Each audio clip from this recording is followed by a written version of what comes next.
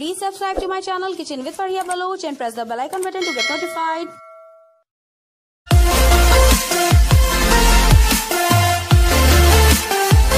Aslam kitchen with Fariya Baloch के साथ मैं हूँ यूट्यूब पर फरिया बलोच अगर अब तक आप लोगों ने मेरे चैनल को, जो कि यूट्यूब पर किचन विद फरिया बलोच के नाम से है सब्सक्राइब नहीं किया है तो प्लीज़ सब्सक्राइब कीजिए। साथ बेल आइकॉन के बटन को ज़रूर प्रेस कीजिए। ये प्रेस करना बहुत ज़रूरी होता है। मैं भी जिसको सब्सक्राइब करती हूँ बेल आइकॉन ज़रूर दबाती हूँ, ताकि हम उसके साथ कनेक्टेड रहें। ऐसे सब्सक्राइब करने का कोई फ़ायदा नहीं होता, फिर आप उसके साथ कनेक्ट नहीं रह पाते हैं। तो प्लीज़ बेल आइकन को ज़रूर प्रेस किया कीजिए। और इट्स रिक्वेस्ट जो लोग मुझे सब्सक्राइब कर चुके हैं व्यूवर्स हैं मेरे ऑलरेडी उन सबका बहुत बहुत शुक्रिया। जो लोग पॉजिटिव कमेंट्स करते हैं, उनका तो हद से ज़्यादा शुक्रिया अदा करती हूँ मैं। बी पॉजिटिव पॉजिटिव कमेंट से हमारे अंदर एनर्जी आती है और हम और अच्छा काम करने की कोशिश करते हैं। कोई भी हो, किसी भी प्रोफेशन से। एनीवेज आज बना रही हूँ एक और बड़ी मज़ेदार किस्म की रेसिपी आज हम बना रहे हैं peri peri tikka chunk crepes चलते हैं किचन में, देर नहीं करेंगे। बिस्मिल्लाह के साथ स्टार्ट करते हैं। तो सबसे पहले मैंने यहाँ पर पैरी पैरी टिक्का चंक्स लिए हुए हैं। क्योंकि हमने यहाँ पर अच्छा ये रेसिपी मैं इसकी बना चुकी हूँ अपने चैनल पर और मैं ये इस बात की कोशिश करूँगी मेक श्योर करती हूँ मैं इस चीज़ को कि मैं डिस्क्रिप्शन बॉक्स में इसका लिंक डाल दूँ और वैसे ऑलरेडी मैं इसको डाल चुकी हूँ अपने चैनल पर तो आप उसको फॉलो कर लेंगे। ये बनाए हुए, ये हमने वो पैरी पैरी टिक्का चंक्स ठीक है? ये चाहिए हमें इसके लिए। पीता पॉकेट ब्रेड जो होती है, ये मैंने आज रेडीमेड ली है, हम इससे बनाएँगे और इन ताला मैं ये बनाना भी बताऊँगी। साथ हम डालेंगे, इसमें पैरी पैरी सॉस होती है। ये ऐड करेंगे। साथ यहाँ मैंने ली हुई है mango sauce. Mango chilli sauce. ये मेरी बनाई हुई है होममेड। ये मैंने एक्चुअली अपने जो है गर्मियों में बनाकर मैंने इसको फ्रीज़ किया हुआ था। बट मेक श्योर कि आपका फ्रीज़र ऑफ़ ना होता हो तो आप इसे बना के फ्रीज़ कर सकते हैं और इन ताला जैसे ही गर्मी आएँगी इस मज़ेदार चटनी की रेसिपी मैं आपके साथ ज़रूर शेयर करूँगी। ये यहाँ पर प्लेन यूगट मौजूद है मेरे पास, जिसमें मैं अभी नमक थोड़ी सी कुटी हुई लाल मिर्च और थोड़ा सा भुना कुटा रोस्टेड जो ज़ीरा है, वो ऐड कर दूँगी। ये हो गए हमारे सॉसेस सॉसेस क्या जा रहे हैं? Peri peri sauce clear mango sauce clear yogurt इसके अलावा आपके पास नहीं होगी ऑफ़ कोर्स अगर ये मौजूद तो आप ग्रीन चटनी यूज़ कर सकते हैं, जो हम मिंट एंड की बनाते हैं। अच्छा यहाँ हमने लिए हैं टोमेटोज़ लंबाई में काटे हुए। और यहाँ पर लिए हैं कैप्सिकम इन्हें भी लंबाई में काटिया हुआ है। और यहाँ अनियंस ली हुई हैं। इन्हें भी लंबाई में काटा हुआ है। खीरे लिए हुए इन्हें मैंने छोटा छोटा चंक्स में कर लिया है। चाहे तो लंबाई में भी रख सकते हैं बट बच्चों के लिए बना रहे हैं तो थोड़ा मुँह में आते हैं। अच्छा यहाँ पर लिए हुए थोड़े से हमने अपने सैलेड लीव्स आपके पास अगर आइसबर्ग मौजूद है तो बहुत अच्छी बात है। वहाँ थोड़ा सा ऑयल रखा हुआ है, जिसमें हम पीता ब्रेड अपनी गर्म करेंगे। तो अभी स्टोव पर चलकर पहले पीता ब्रेड गर्म करना शुरू कर देते हैं। यहाँ थोड़ा सा ऑयल लगा दिया हमने पैन में हाफ़ टी स्पून के करीब, और हम डाल देंगे अपनी पीता ब्रेड और इसको करते हैं गोल्डन दोनों साइड से हल्का हल्का। देखें, एक साइड से ज़बरदस्ती गोल्डन हो गई है, और अब दूसरी साइड भी ऐसे ही कर लेंगे गोल्डन और अपनी बाकी जो पीता ब्रेड है, जितने मुझे रिक्वायर्ड है, हम बना लेते हैं, इनको गर्म कर लेते हैं। ये देखें, यहाँ पीता ब्रेड हमने कर लिया अपने गर्म, और इधर पैन में ही मैंने थोड़ा ऑयल डाल लिया अच्छा यहाँ पर जो मैंने अपने पैरी टिक्का चंक्स हैं, इन्हें थोड़ा सा मैंने भाप दे के रखा हुआ था तो ये हाफ़ डन है।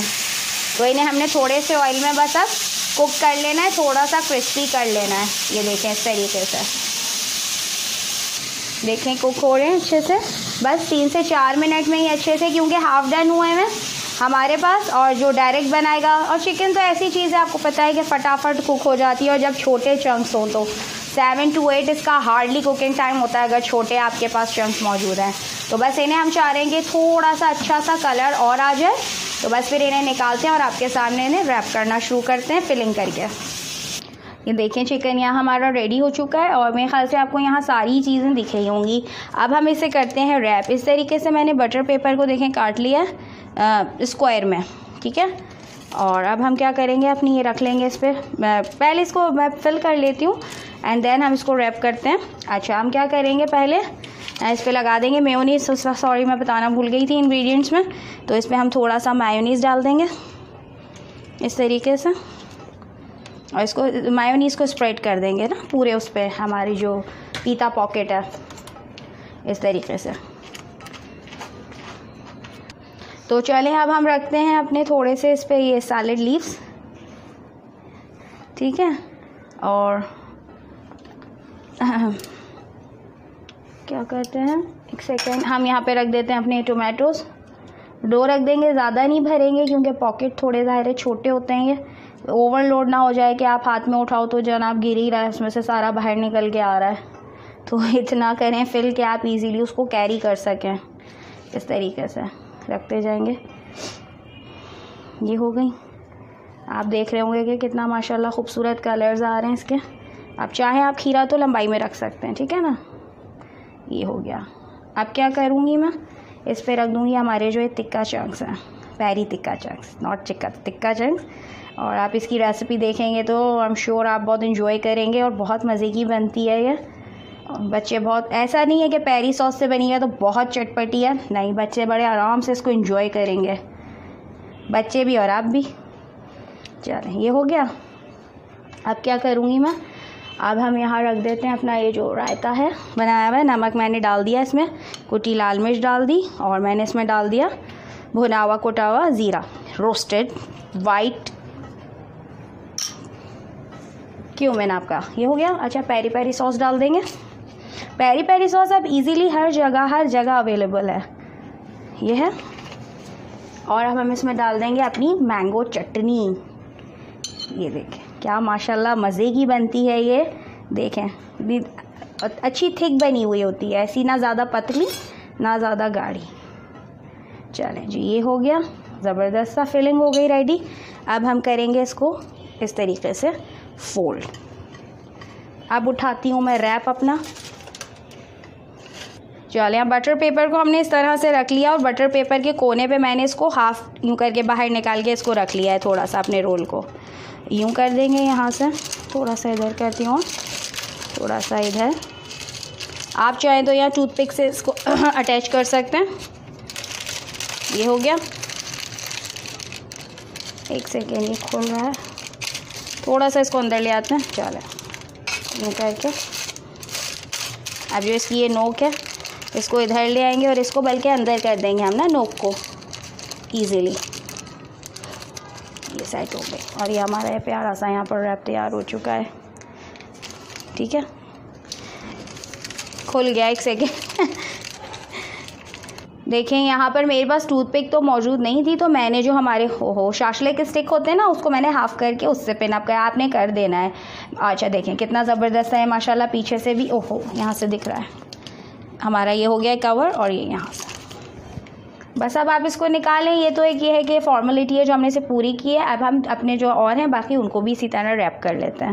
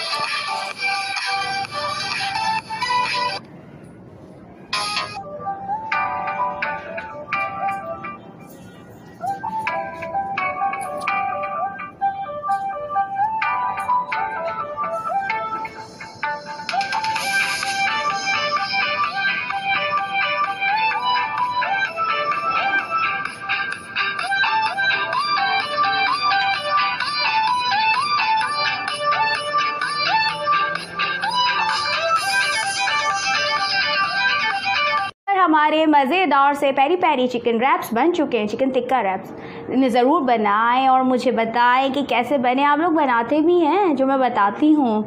ज़रूर बनाएँ और मुझे कमेंट बॉक्स में बताएँ कि कैसे बने। Keep watching me and keep commenting me but positive positive comments किया करें। मैं कोशिश करती हूँ, जो भी मेरे फ्रेंड्स हैं फैमिली हैं, अगर यूट्यूब पर मौजूद हैं तो अगर मैं उनके वीडियोस वॉच करती हूँ तो मैं हमेशा कोशिश करती हूँ कि मैं मोटिवेट करूँ। मोटिवेट आप कर सकते हैं पॉजिटिव कमेंट करके।